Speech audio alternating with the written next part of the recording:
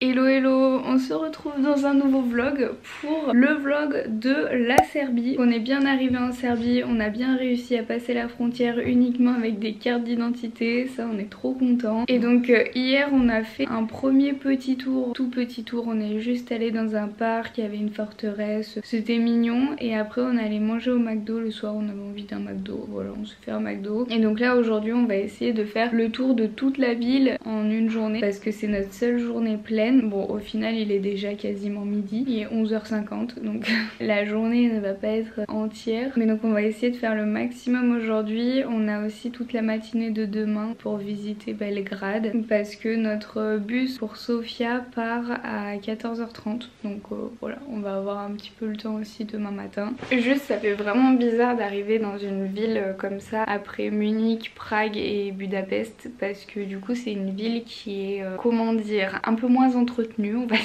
Par exemple quand on est arrivé à la gare routière, devant le bâtiment de la gare, il y avait une sorte de déchetterie poubelle, euh, je sais pas quoi.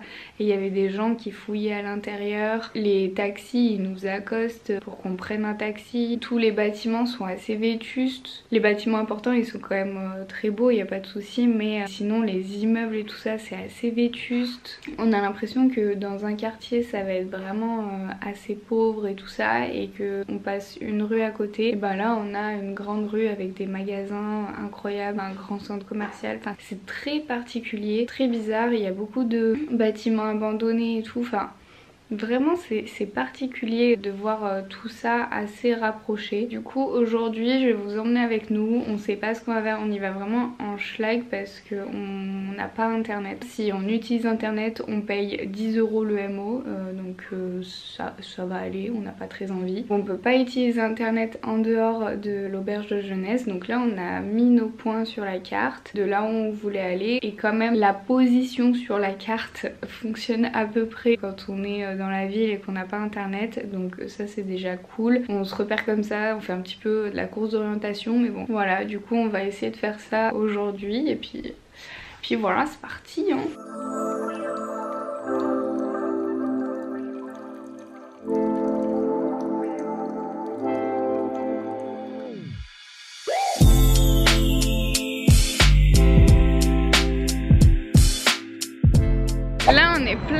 La République apparemment. Je sais pas ce que c'est, il y a un gros bâtiment en face de nous, je sais pas ce que c'est. C'est le bâtiment de la place de la République, voilà. Et j'ai oublié de vous dire, mais je suis tombée malade. Là je suis malade, c'est trop chiant, du coup j'ai mal à la gorge et tout. C'est trop beau. Oui, je te prends en photo. Attends, mais il euh, n'y a plus rien là. Attends, je comprends pas. Comment on fait pour s'enlever de ça? Vidéo, appareil photo. Voilà, c'est bon. Mais j'ai pas encore commencé Tu rigoles là Et ben voilà, Là il y a un bâtiment en pierre euh, tout beau machin tout ça. Et genre juste à côté là il y a un bâtiment hyper moderne et tout en métal. Et en fait c'est ça qu'on comprend pas vraiment dans, dans la ville c'est que les styles se mélangent de ouf et c'est incompréhensible visuellement.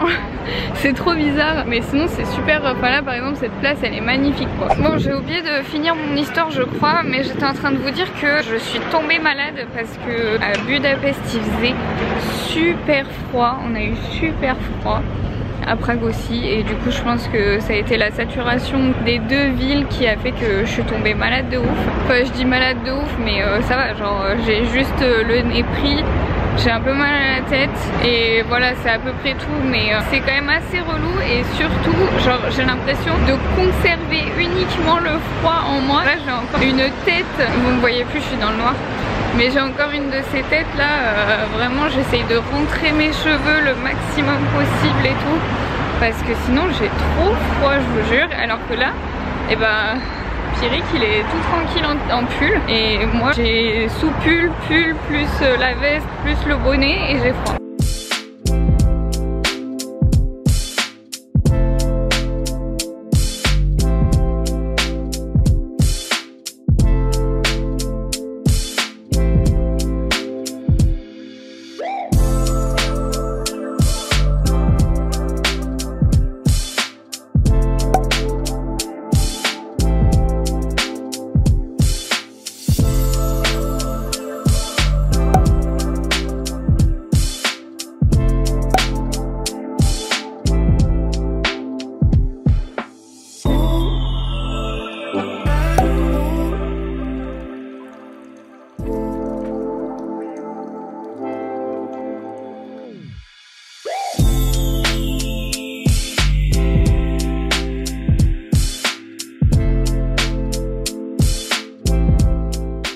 Bon les amis, l'heure est grave. Vous me voyez même pas les amis, là ça va pas du tout. Attendez, je vous règle. Alors, L'heure est grave, je suis malade, comme je vous l'avais dit en début de vlog, mais sauf que là vraiment c'est relou, c'est chiant, j'ai juste envie de dormir. J'ai la tête comme un melon, j'en peux plus. Du coup ce soir on fait pas grand chose, on a acheté des tomates cerises et c'est notre repas parce que on veut plus rien manger. On fait que de manger euh, bah, au resto ou au fast food et je vous avoue que c'est quand même assez lourd comme repas. Donc euh, on en a un peu assez. Là on était en puisqu'on fait rien ce soir, on était en train de regarder des avis sur ce qu'on va faire demain parce qu'on a vu un petit parc et tout, on s'est dit que ça serait sympatoche d'aller voir ce petit parc. Et pour arriver à ce petit parc, il y a un petit pont et euh, un gros pont, pardon. Et j'ai découvert qu'il y avait des avis sur ce pont et c'est quand même incroyable. Il y a une personne qui met un avis de 2 étoiles sur 5 donc ce qui n'est pas beaucoup et qui dit pont mythique de Belgrade offrant une vue imprenable sur la vieille ville donc là pour l'instant tout commence bien surtout en fin de journée. Mais c'est également une artère au trafic incessant. Deux fois trois bandes de circulation. En tant que piéton on a l'impression de faire du tourisme le long d'une autoroute. Malgré la vue je n'ai pas apprécié traverser ce pont.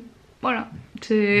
Franchement, c'est particulier de laisser un avis sur un pont. Après il y a une personne qui a mis un avis de 4 sur 5 donc beaucoup mieux. La vue depuis ce pont n'est peut-être pas la meilleure donc là ça contredit complètement l'avis précédent. Un bon point c'est qu'il y a un ascenseur qui permet d'accéder à un quai plus bas et vice versa. Les cyclistes disent merci.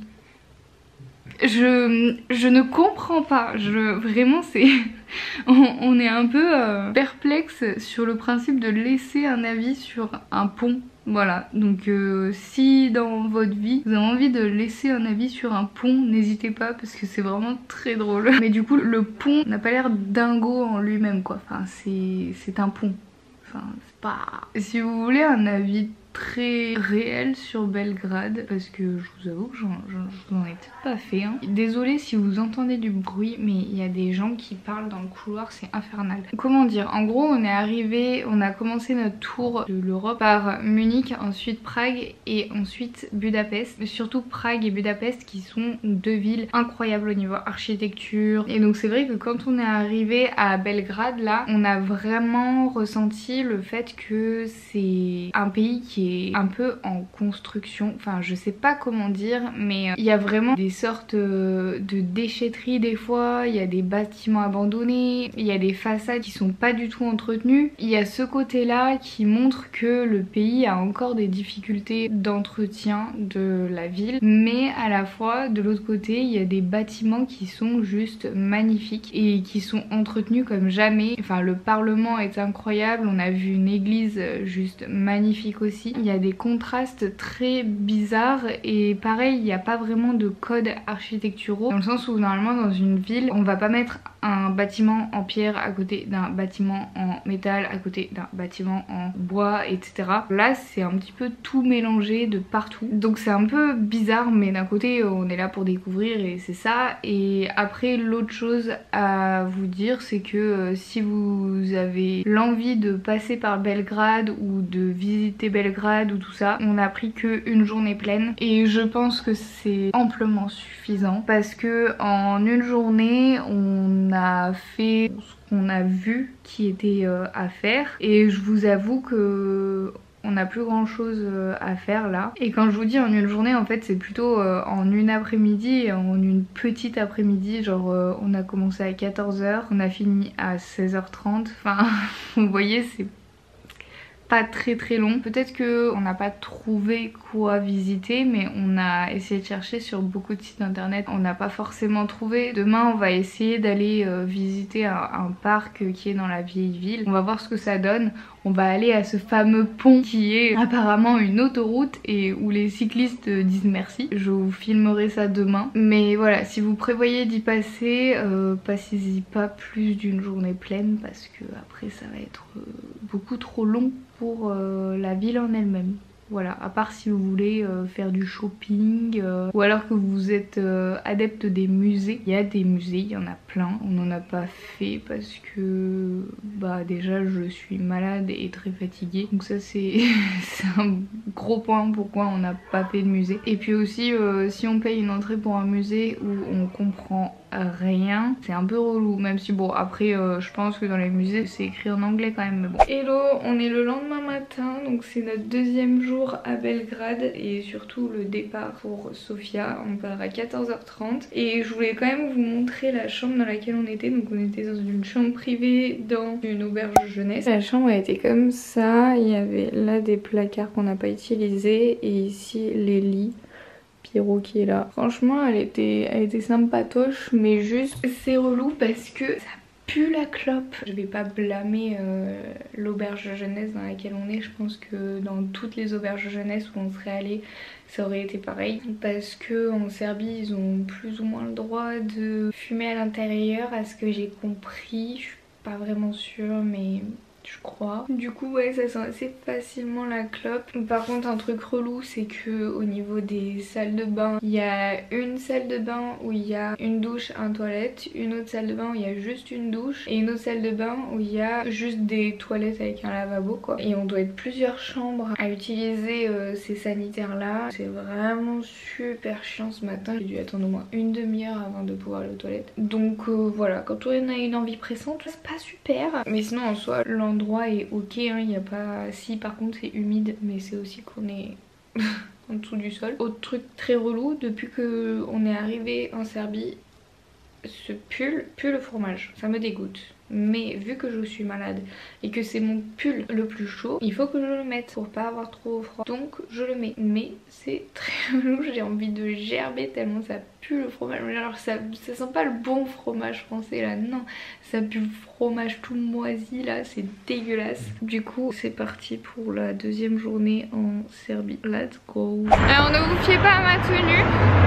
Il fait très bon mais c'est juste que vu que je suis malade j'ai pas envie plus malade donc je me suis bien couverte. On est sur le fameux pont qui a été noté et dont on a lu les commentaires hier. Le pont effectivement ça ressemble à une autoroute et on marche à côté de l'autoroute. C'est vraiment bizarre parce que genre il y a même une bretelle de sortie euh, Là, il y a une bretelle de sortie. On a quand même une belle vue sur euh, le fleuve et toute la ville. Voici le fameux ascenseur qui permet de descendre sur les quais. Parce que là, il y a des quais. Hop là, on peut aller s'y balader et tout. Là, on n'est pas sûr sûr, mais normalement de ce côté-là, c'est le nouveau Belgrade. Et là, là où on était, c'est l'ancien. On va découvrir le nouveau Belgrade avec le parc là.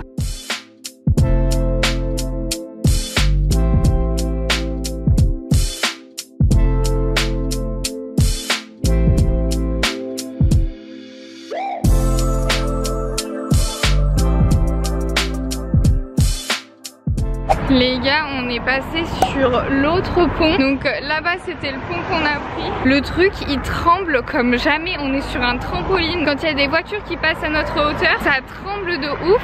Et la route, elle est super mal foutue. Il y a des irrégularités de ouf. Et du coup, les voitures euh, roulent presque au milieu euh, parce que c'est la merde, quoi. J'ai pas hâte qu'il y. Mais les gens, ils font des zigzags et tout. C'est un bordel. Ça tremble. Mais regardez. Ah, vous voyez pas Vous voyez pas, mais vraiment, les, barrières tremblent. Non, mais c'est toi qui as fait trembler. Non. Non? C'est un bordel ce pont, ça fait un peu flipper. Là, on voit vraiment le contraste euh, de la ville. Genre là, tous les bâtiments, ils sont en construction, ça va être tout neuf, tout ça. Ici, bah, le pont où on est, il est plus du tout entretenu.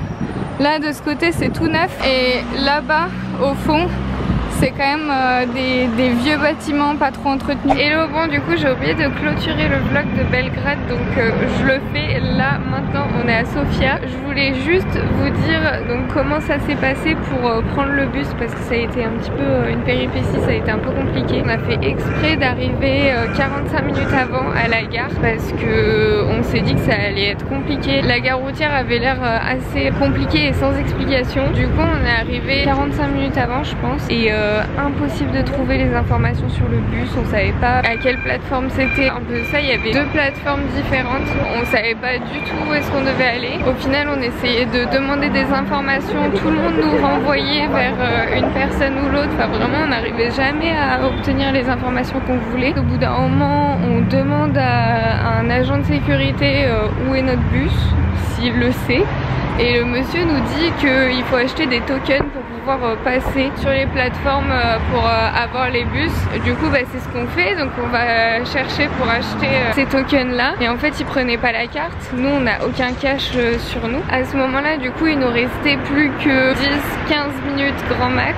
Et on savait toujours pas où était notre bus en sachant qu'il y avait donc ce fameux endroit où on devait acheter le token pour rentrer. Mais on savait pas si notre bus était là ou alors il y avait un autre endroit où on trouvait aussi des bus. On savait pas du tout où c'était. Donc j'ai dit à Pierrick d'aller retirer de l'argent. Moi je suis partie à l'autre endroit pour voir s'il y avait des Flixbus. Lui il a retiré. J'ai vu que moi il y avait, il y avait pas du tout de Flixbus euh, là où j'étais allée donc je suis revenue. On a acheté les tokens et du coup on a pu passer. Alors pour une ordre d'idée du coup les tokens ils coûtent euh, un peu plus d'un euro je dirais un euro cinquante. Et donc ouais on est rentré sur cet endroit où il y avait tous les quais pour les bus mais on trouvait toujours pas notre bus. Donc euh, on a couru dans tout l'endroit là. On a vu un premier bus euh, floqué Flixbus. Donc on est allé voir c'était pas ça. On était en mode non c'est pas possible il restait genre que 5 minutes. Et après j'en ai vu un autre au loin. Et c'était le bon donc voilà, mais vraiment on est arrivé genre deux minutes avant que le bus parte. On a eu beaucoup de chance, mais donc euh, petit conseil pour les personnes qui veulent aller euh, à Belgrade, ayez toujours un peu de cash sur vous en dinar serbe parce que ça nous est arrivé bah, deux fois de devoir payer un dinar. Une fois à l'auberge de jeunesse et du coup une fois pour euh, pouvoir rentrer sur les quais. Mais donc je pense que je vais vous laisser là pour le vlog en Serbie. Et puis bah du coup le prochain vlog c'est vlog à Sofia puisque je suis actuellement à Sofia et que je vlog à Sofia. A très vite pour le prochain vlog.